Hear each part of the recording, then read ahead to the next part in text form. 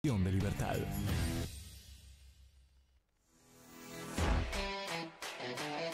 Desde el infierno llegan los pequeños demonios, un programa de radio hecho por los estudiantes de la Namuncura. Pequeños demonios, acá te vas a encontrar con temas variados y divertidos. Pequeños demonios, comienza ya.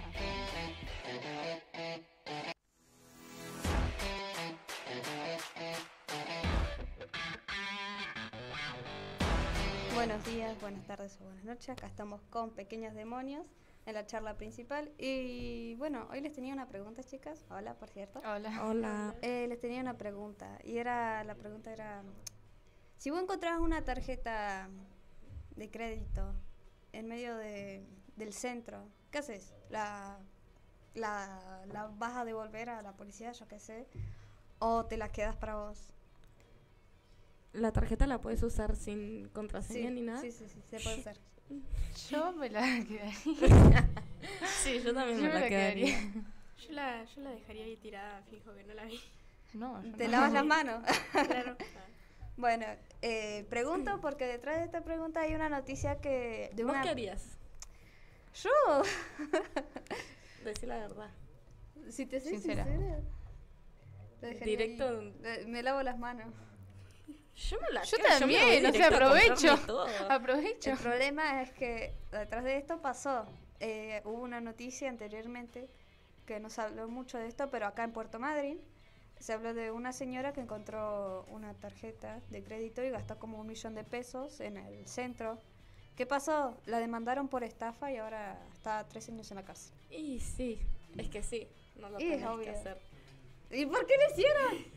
Y No lo hice, lo pensé, o sea. Claro, o sea, ¿Por qué lo pensó? Si no lo hubieran pensado, hubiera pasado. sí, claro, o sea, no, porque mm, no, yo le preguntaría a mi mamá. sí, yo también, yo no, yo se la daría a mi mamá. Mami. ¿puedo usar esta tarjeta que me encontré en el piso? Ah, Directo un audio al grupo de la familia, che. Me encontré una tarjeta de crédito, Sí, ¿me la gasto pinta o voy a. No, sí. Claro, por eso. Pero ¿cómo, ¿cómo la demandó? O sea, ¿cómo se dio cuenta que alguien la tenía? O sea, ¿Cómo eh, hicieron? Claro, porque Las o sea, la- cámaras de las tiendas. Ah, Y pero si la encontrás ahí tirada en el piso.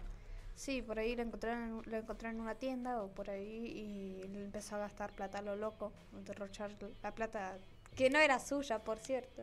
Sí, sí, era sí, sí. Tarjeta ajena, trabajo ajeno y fue demandada por estafa. Por ahí lo Pero- que yo haría si la encontrara, tipo, es guardármelo y a los días ir a, a comprar cosas. Mm, No sé. claro. O sea, pero ¿cómo? O sea, la demanda, o sea, la demandó a la chica.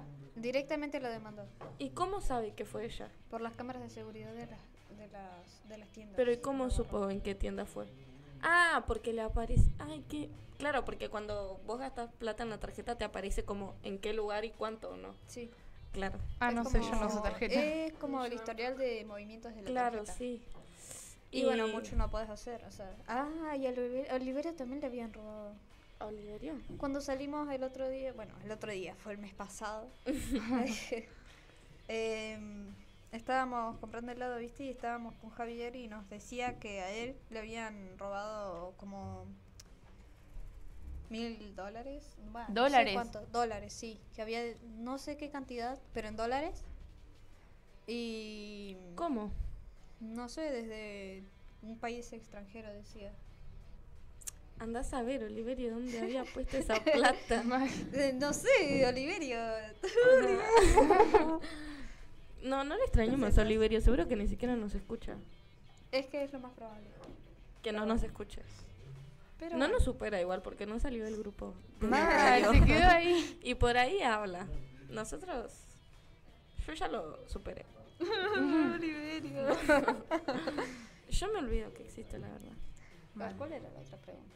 Bueno, sí, eh, cuestión eso. Y la otra no era una pregunta, sino que era una noticia que surgió hoy de la mañana, que no sé, yo estaba tomando té y empezaron a hablar de eso, que fue una noticia hace varios meses, pero quiero sacarla acá porque no lo habíamos sacado. Contá, que se contá. trata de... ¿Escucharon lo de robo del siglo? No. Los mato. Me suena, pero. a mí no me suena ni nada. Que los atraparon justo cuando ya estaba por pasar. Sí, ese sí, pero intentaron imitar el robo del siglo. La película. Sí. No, no es una película, creo que está basada en hechos reales. ¿En serio? Sí. ¿Qué película? Es Claro, una yo película conozco en la que claro, intentaban sí. robar un banco, pero hicieron un pozo, o sea, un pozo, un pozo. Un pozo De porque iba por abajo del banco y paraba ahí. Ah. Y o sea, lo pudieron hacer, pero al tiempo los encontraron. Ese pozo lo hicieron como método de escape. O sea, entran desde arriba y salen desde abajo. Mm, claro, sí. O sea, y lo pudieron hacer. En la película lo, lo pudieron hacer y después de que ya, no sé, tenían, estaban en alta casa y todos los encontraron.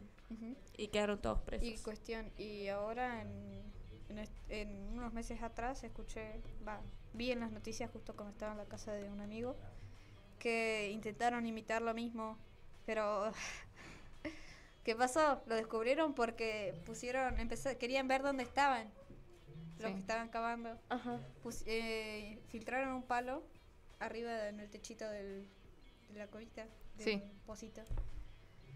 ¿Y qué pasó? Le pegó un auto que el señor reportó eso y ya descubrieron el túnel. Ay, qué...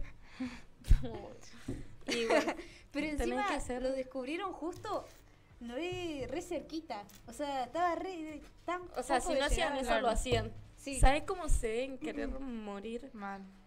Encima les debió ta- que escuché que les había tardado un montón de hacerlo. Y sí. ¿Sabes qué? O sea, un pozo igual hicieron.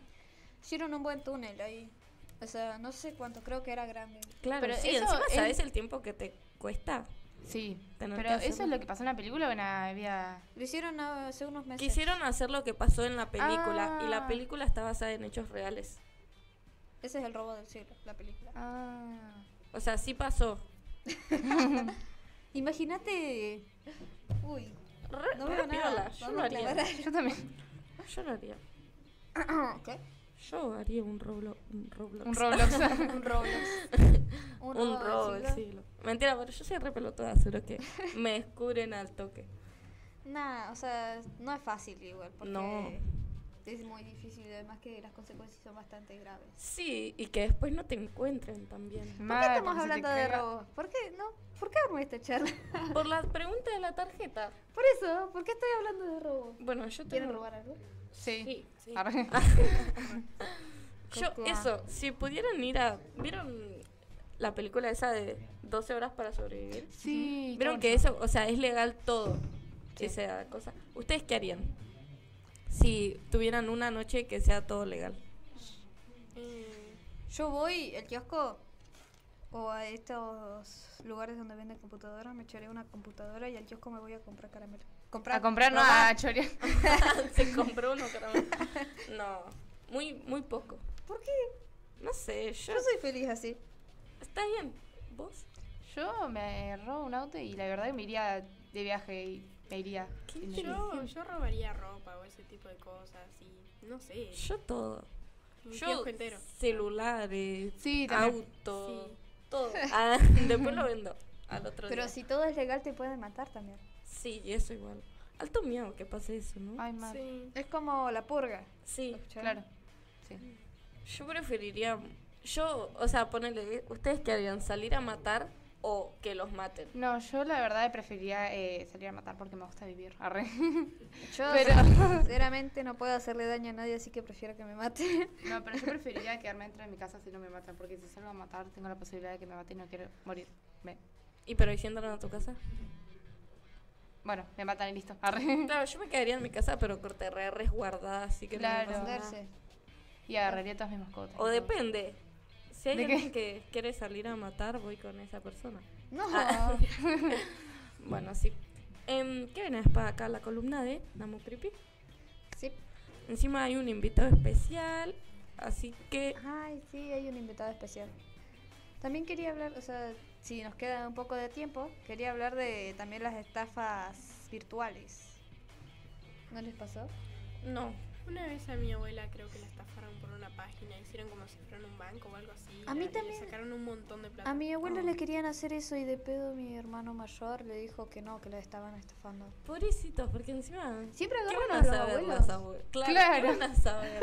No, a mí una vez que estaba en mi casa, que fue hace bastante, llamaron a mi mamá por teléfono diciendo que era un pariente suyo, un tío, no sé qué cosa, y que estaba, estaba enfermo y estaba de plata para la operación. Y mi mamá estaba por pasar, pero, mm, tipo, o sea, no tenía ningún familiar con ese nombre, entonces, Sí. no, mi mamá la- Ay, que me parece que lo puteó y, y le cortó. pobrecito.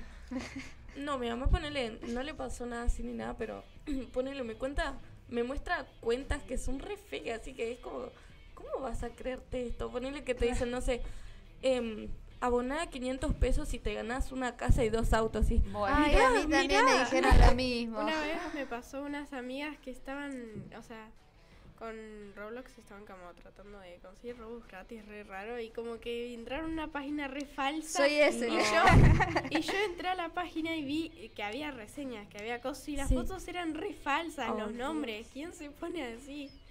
Bueno, por suerte la salvaste. hablando Sí. de Bueno, estafas.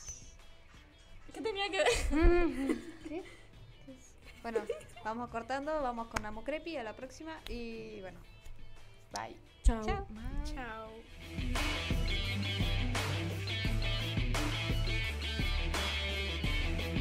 Suscríbete a nuestro canal de YouTube